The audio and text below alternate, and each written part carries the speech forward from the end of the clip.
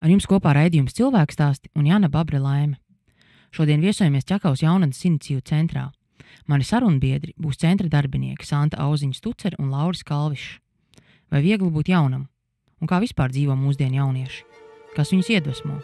Par ko viņi sapņo? Par to mūsu šīs dienas saruna.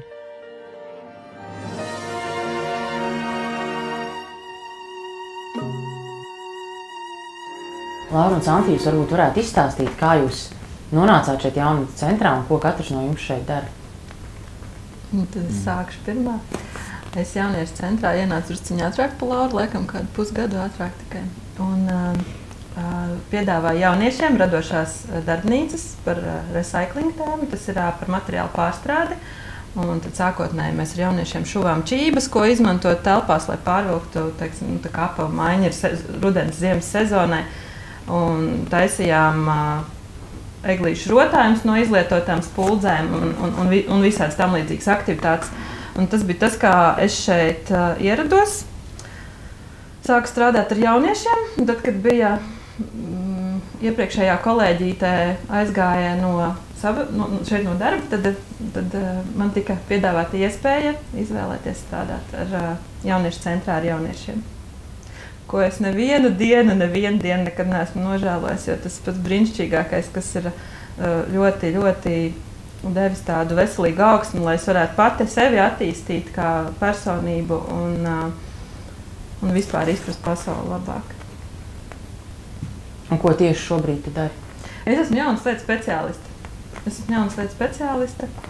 Un šogad es arī iziešu apmācības, ko man piedāvā valsts Un, tad, tas, ko es daru, es tieši strādāju ikdienā jauniešiem, tas dalos informācijā. Uh, par to, ko es zinu par jauniešiem, kādas ir iespējas, iesaistīties projektos, dažādās citās aktivitātēs, veidojam tāpat joprojām dažādas radošas aktivitātes un, un, un, un, un, un visu. Ja vajag uzklausu, ja vajag pārrunājos. Jā. Bieži tā sanāk. Varbūt ir reizēm tā, ka jaunieši atnāk, varbūt nevis tikai padarboties, bet aprunāties. Jā, jā, jā, jā. Visbiežāk tā arī ir, ka jaunieši nāk arī parunāties, lai kāds viņus sadzirdētu. Jo kas ir katram jaunietim ir tiesības būt uzklausītam no pieauguša cilvēka. Kādā šķiet tā ir tāda problēma? Jā, protams. Mājās jauniešu vecākiem ir jau savs uh, negribu teikt stereotips vai uzskats, bet ir lietas, kuras ir, viņi ir pieņēmuši. Viņi jau ir uzlikuši kaut kādu teiksim, cerību uz to, kādam viņam ir jābūt, ko, kaut kādas vēlmes, par ko viņam ir jākļūst, kā viņam ir jāizskatās. Jaunietim, jaunietim ir visas iespējas izvēlēties, kas viņš grib būt tieši, tieši viņš pats. Viņam nav jādzīvo vecāka dzīve, Viņš var iedalīt savas izvēles. Un tas, tas, par ko mēs varbūt arī stāstām, kad ir dažādas iespējas, un mēs arī cenšamies stāstīt par labajiem piemēriem, ko un kā. Un, Laura, kā tu šeit nonāci? Un tas ir garš stāsts. Um, Drusku garāks nekā Santē būs. Um, bija tā, ka mēs esam kā, šeit Jākavā. Es dzīvoju jau no 4 gadu vecuma. Tas ir labi, diezgan labs laiks. Un esmu par šiem gadiem paspējis sev atrast daudz draugus. Un ar tiem draugiem mums tā kā tradīcija ir, ka mēs katru vakaru pēc skolas kā, nu, izmācāmies vispārējais, ejam ārā un staigājamies. Un ne, nav, nav tādas dienas, ka mēs neejam ārā.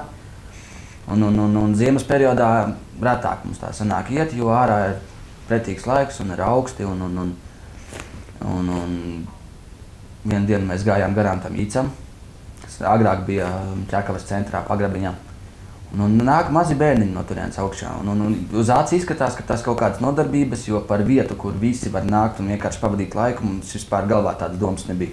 Vienīgā vieta, kas ir galvā nāk, tā bija biblioteka, kur visi varēja iet satikties, un, un, un varbūt bērnu laukums siltākajā laikā. Un, un, un pārējām garām vienu reizi, otru reizi jau nāk pavisam cita, vē, nu, cita kompānija, tur trīs gadi vecāki. Un, un, un trešajā reizē mēs jau sākām domāt, kas tur lejā notiekās. Vienu dienu pavisam maziņai, vienu dienu jau kaut 14 gadīgi nāk augšā. Un pat cik bija augsts, mēs sakām, ejam iekšā. Iznāca ārā meitenīte. Mēs prasām, kas tur lejā ir. Jauniešu centrs. Mums tā tā jauniešu cena, kaut kas pavisam jauns, tā kā ķīniešu valoda. Un, un, un, un, un mēs prasām, cik tur da, nu, vec, kāds ir vecuma ierobežojums.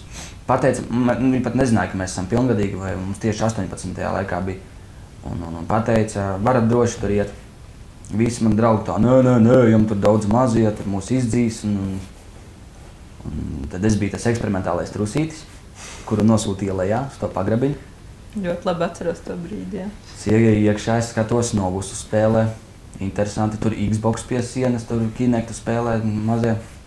Un, un, un tur bija tā novietots, ka um, mūsu acīs toreiz tas bija audzinātājs Santa Linda. Viņas bija tā kā aiz stūrīša, vēl nevarēja redzēt. Es uzēju augšā, pasaku, gaisa tīrs, varat nākt. Tad mēs tur varas jauniešiem noejam, tur novelkam apavus, vajadzēja ziemā vilkt nost.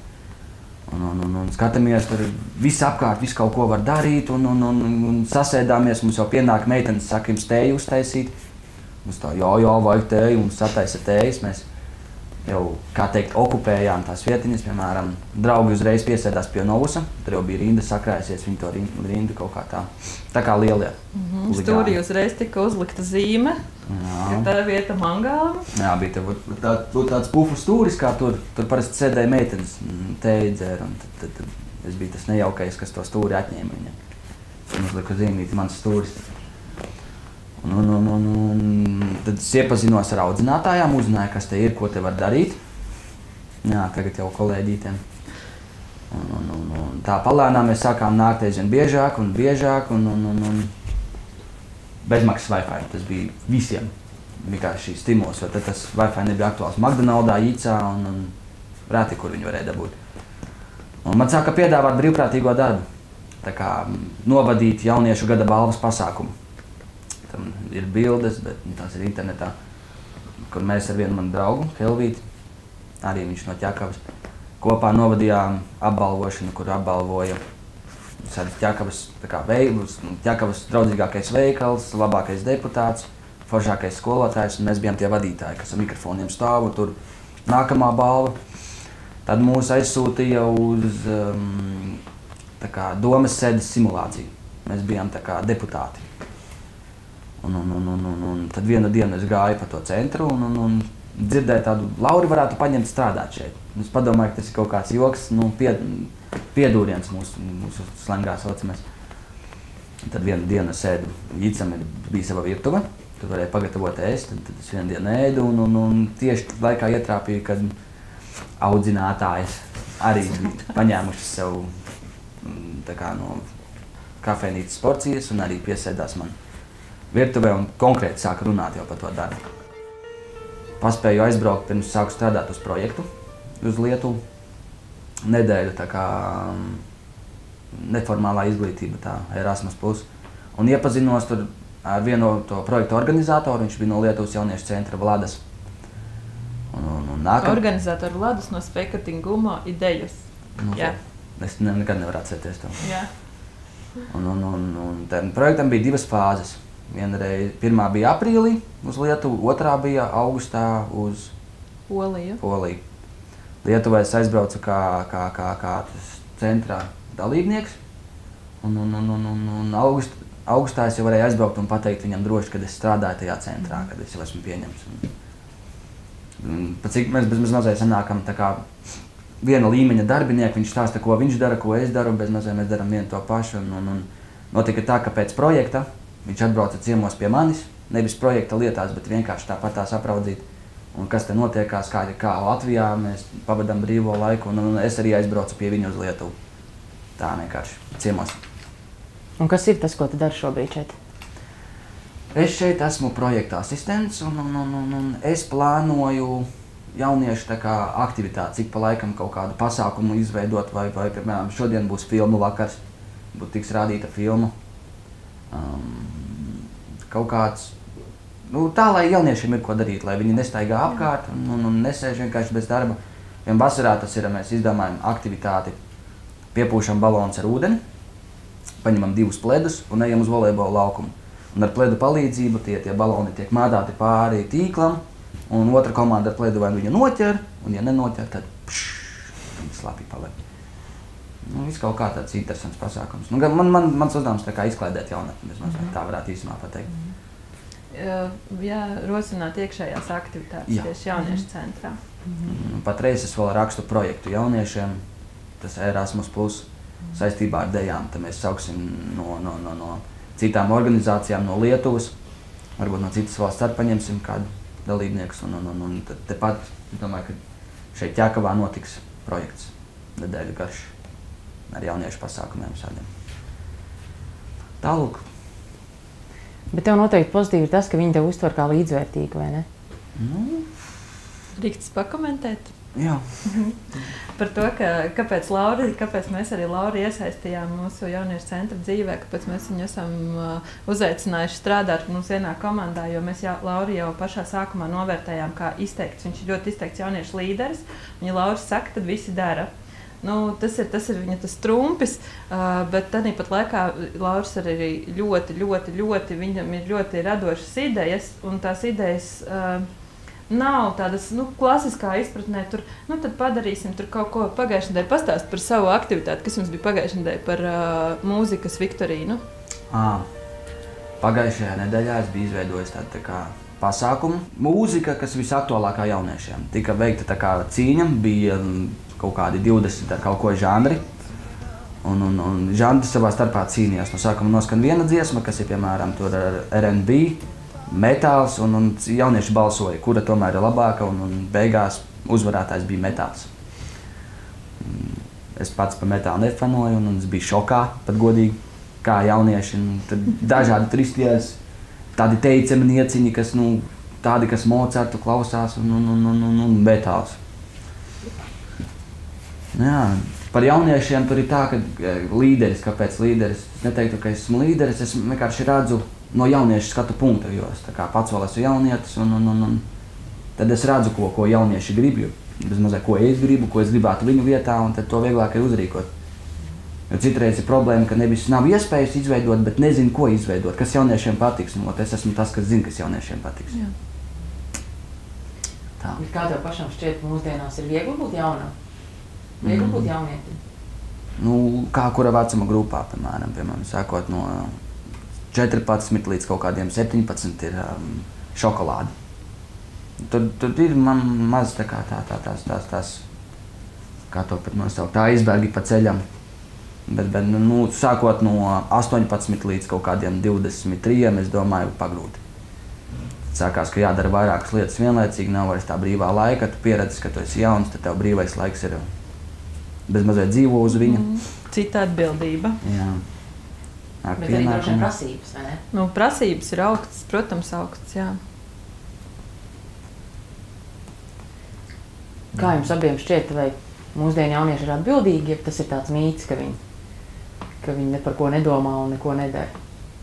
Nu, tas ir. Ir, nu, es domāju, ka gan tā, gan tā, jo tas nav tā, ka ir jaunieši, kas tiešām uh, kuriem nav atbildības, kuri tiešām dzīvo uz citu rēķina. Un, un, nu, nu tagad jau ir tik daudz iespējas, un, un, un, bet galvenokārt tie ir tie jaunieši, kuriem vecāki nav ielikuši šo apziņu, ap, apziņu jau pašā pamatā, ka nu, viss, ko tu dari, tā ir tava dzīve, tavas izvēles. Tas ir tavs izvēles, ko tu dari savā dzīvē.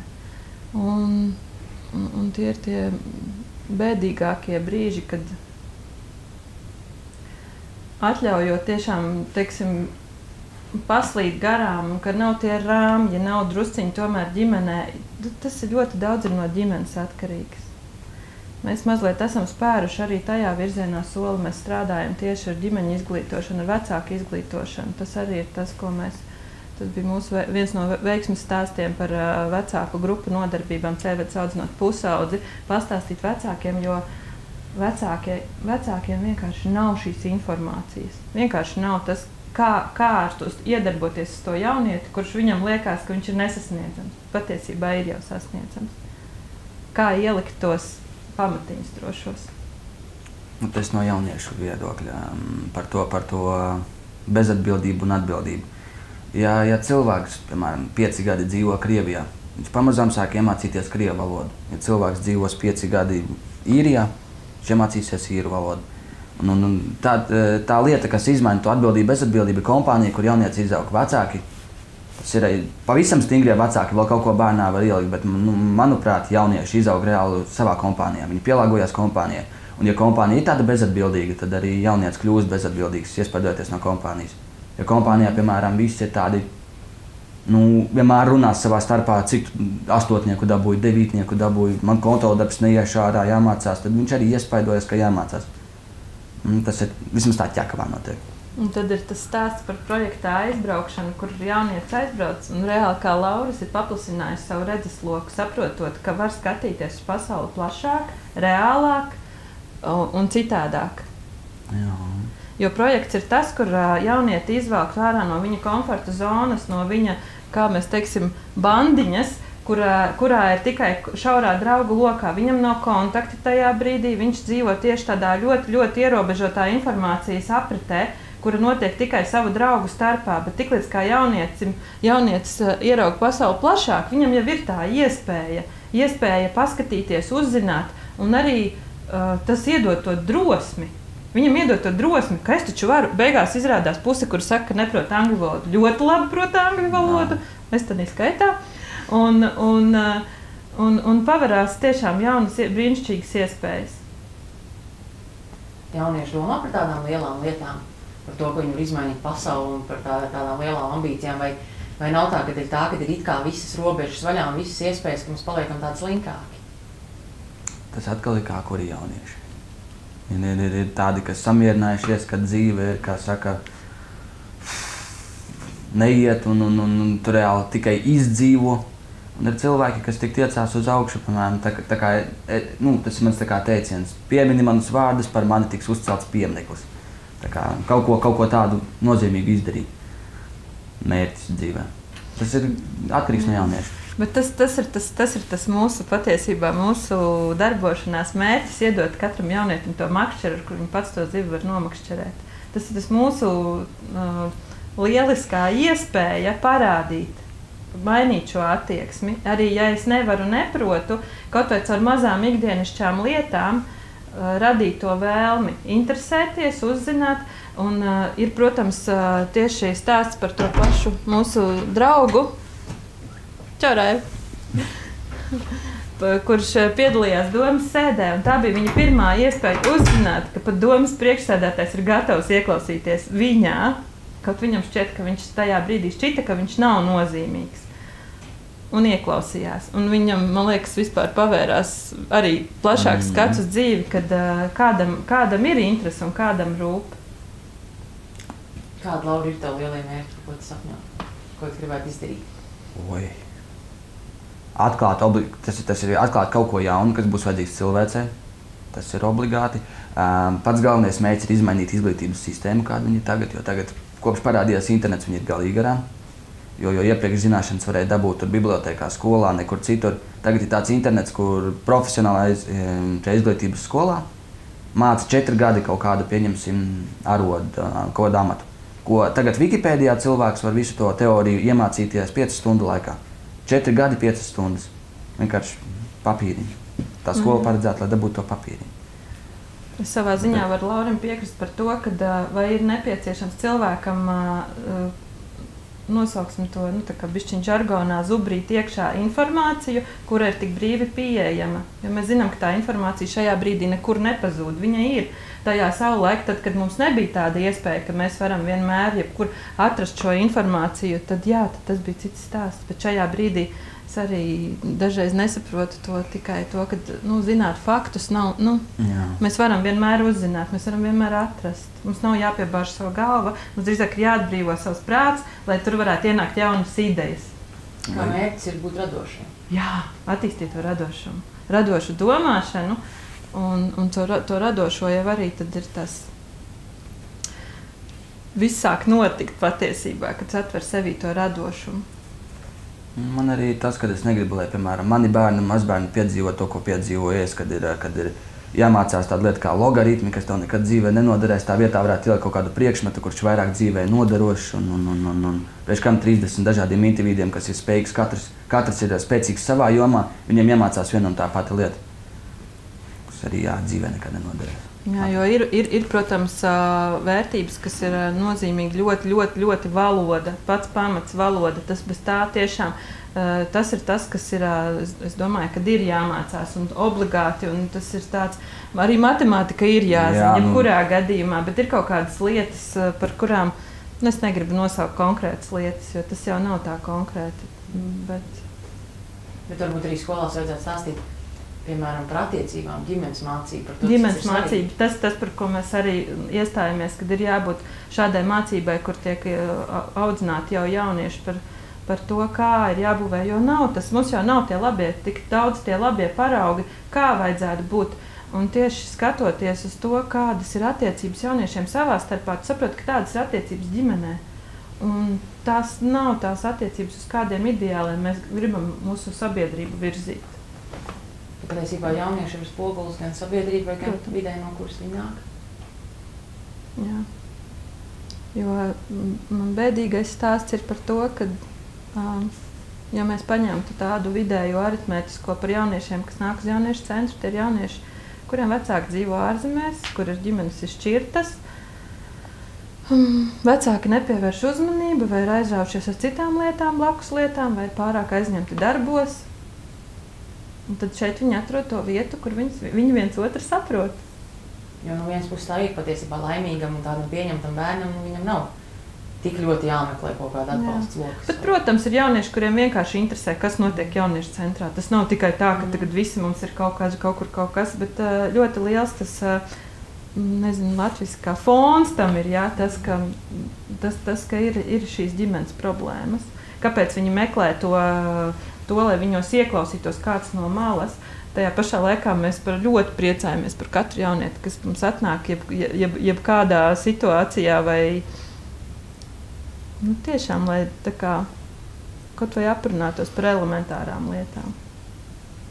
Es zinu, ka jums arī būs projekts, kur jūs uzrunāsiet tieši ielu jauniešus. Jā, es pagājušo nedēļu biju Lietuvā apmācībās. Un, uh, Tur es ieguvu zināšanas par uh, darbu ar jaunatni ielās. Tas nozīmē to, ka reāli fiziski pāris, es ceru, ka Lauris būs mans partneris ar laiku, mhm. dodas ielās un uh, strādā ar jauniešiem tieši uz ielas.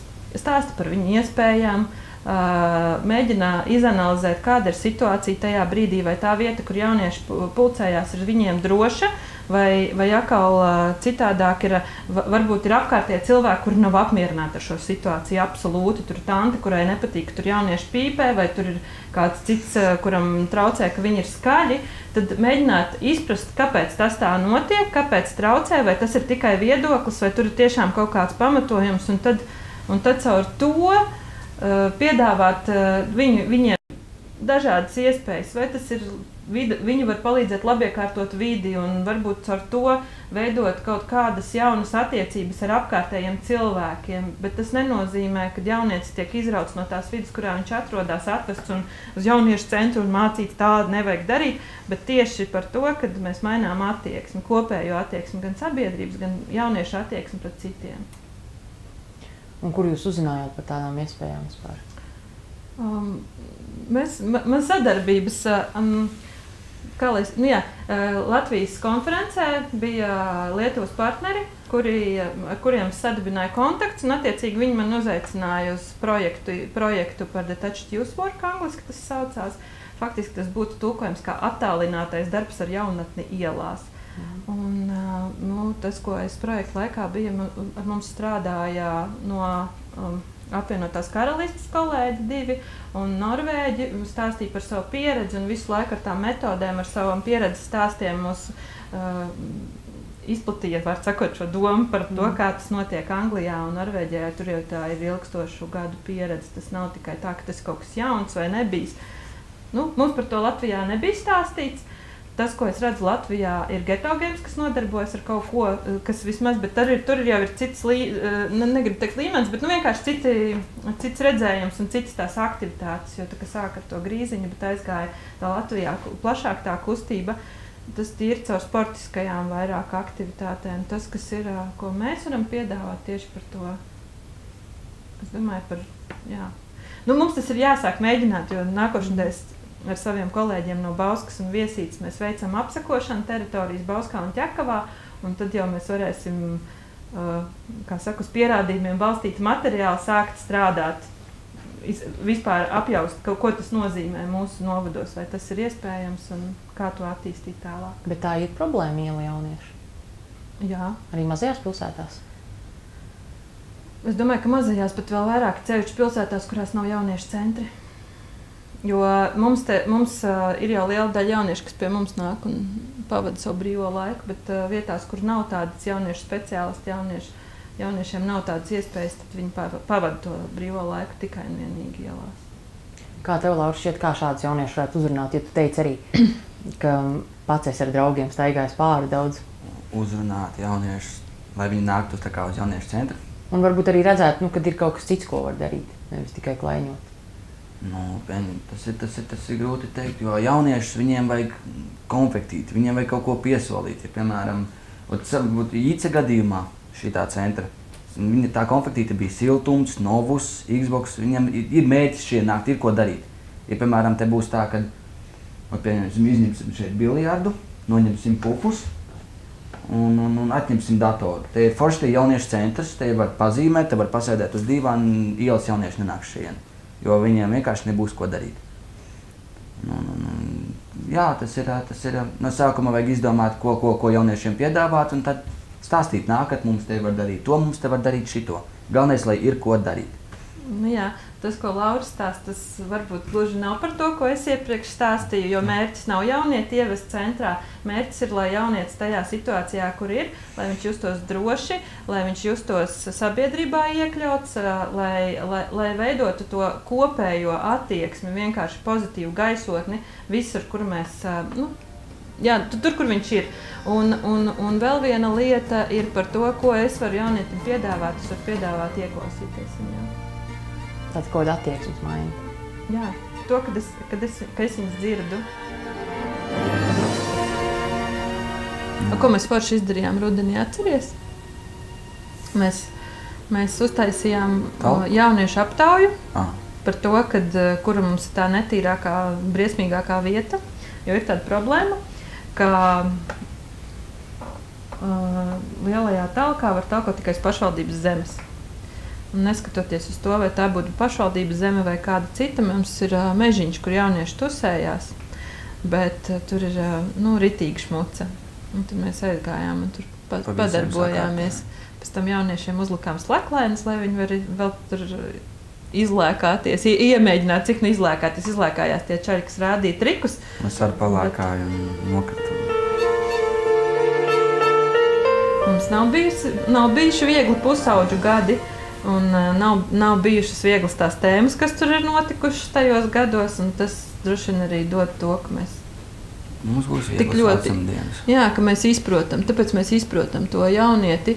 Kad uh, nevienmēr visas tās rīcības, kuras tajā brīdī liekas, ka viņas ir drausmīgas, dramatiskas, vai kas tur vienmēr tas kāpēc, jautājums, kāpēc, ka, kas, kas notiek, kāpēc. Un tad, kad tu to sāc uh, noskaidrot, tad ir Un tur ir ba baigie visādi brīnumi nāk ārā. Vientulība pārsvarā, neieklausīšanās, uzmanības trūkums. Nu, kas, nu, kas viss jau ir, tas, tas, tas, tas viss ir pamatā. Un, tas, un, un, un ļoti, ļoti, ļoti, ļoti jauniešiem ir tas um, kā pa, pa pašapziņas trūkums personīga attieksme. Tas ir tas, ar ko patiesībā vispār sākas darbs ar jaunu.